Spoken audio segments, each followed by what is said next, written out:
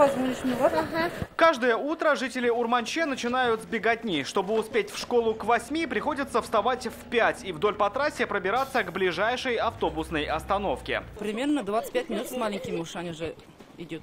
Тихо. Вот уже 10 лет это самый востребованный рейс. Не попасть на него значит пропустить школу. И хотя идти до автобуса километр, а то и два, деваться-то все равно больше некуда.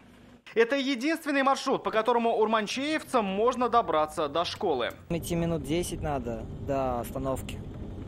И, а вот э, кто живет дальше меня, им минут 15-20 идти. Все дело в том, что в поселке Урманчеево нет остановки. Нет ее потому, что маршрут небезопасный. В июле это признала и комиссия из ГИБДД, дорожников и Минобра. Мы проехали полностью весь маршрут до конечной остановки именно Урманче.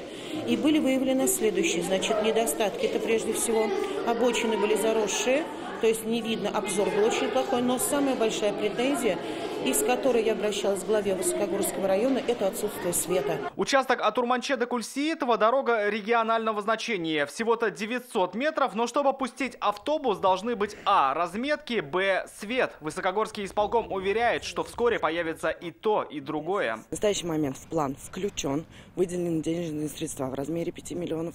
Строительные работы начнутся в этом году после проведения торгов и аукционов. Власти подтверждают, бюджет на это уже выделен, идущие осилили дорогу. Ориентировочно остановки и маршруты урманчеевцам стоит ждать уже летом этого года. Рамиль Шайдулин, Андерсен Тальцев, ТНВ, Высокогорский район, Казань.